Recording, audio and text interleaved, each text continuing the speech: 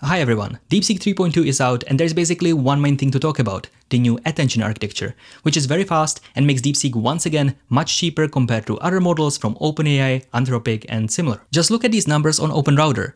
DeepSeek will charge you 40 cents per million tokens, while the latest OpenAI model will cost you $10. That's 25 times more expensive. Or let's look at Claude Opus, $25 per million tokens. So assuming we get similar performance, this is quite a difference. And before I explain why it's so cheap, let me just say one general thing about the model. Once again, it's a very large model with 685 billion parameters, and there are no smaller variants. For example, Qwen models have a nice variety where you can go all the way from 600 million to over 200 billion parameters. That gives you lots of options to run models locally, even on your personal laptops. But DeepSeek is different. They used to publish these smaller models like Math and Coder, but now they fully focus on these high-end large models, basically staring at OpenAI and Gemini and saying, we can do better than you. And that's a great contribution to the research community, and it challenges this closed source model monopoly. But it also means that if you want absolute privacy and want to run it locally, you may struggle, because the full model in the default FP8 format will need about 700 gigabytes of memory to run, or about 350 gigabytes if you want to quantize it to 4 bits. So most people will probably use something like OpenRouter or you can use DeepSeek's own chat interface, but that arguably sacrifices even more privacy. Alright, the main thing about this version of DeepSeek is the new shiny faster attention.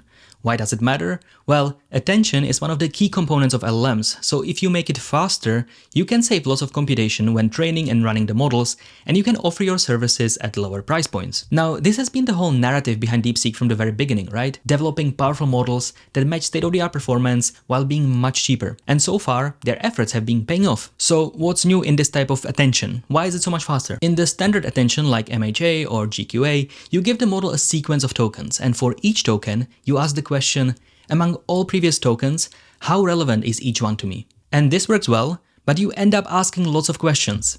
If your input has million tokens, you will start with very few questions at first, but by the time you get to the end, you're asking million questions for each token. And so in this new type of attention called DeepSeek Sparse Attention or DSA, they basically assume that we don't need to consider every single token every time. They start by asking which subset of past tokens is even worth looking at and only then they ask, given that subset, how relevant is each token to my current query? To answer the first question, they develop two components, Lightning Indexer and Top K Selector. The Lightning Indexer is basically another small attention mechanism that assigns a score to every previous token, and the Top K Selector then selects K tokens with the highest score. And for example, DeepSeek 3.2 always selects 2048 top tokens. Once we have the set of top K tokens, only those are passed to the attention box. And we can ask the usual question, how relevant is each token to my current query?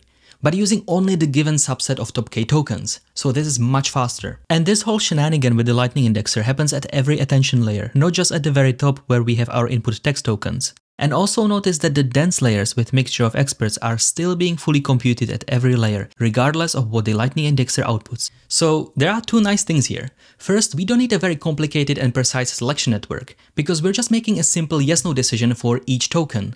So the lightning attention doesn't have to be very large, and it can run in FP8, which is much faster. And second, DSA basically computes an attention over attention, which is quite cool. Okay, so if we use a top K selector with 2048 tokens, does it mean that any input longer than 2048 tokens takes the same amount of time? Are we basically capping the computation by that number of tokens? Well, not really, because the Lightning Indexer still touches every token in the sequence to decide which ones are important. However, once we have the subset of most important tokens, the main attention runs only on at most k tokens, independent of the total sequence length. And we can see that in these two graphs in their technical report.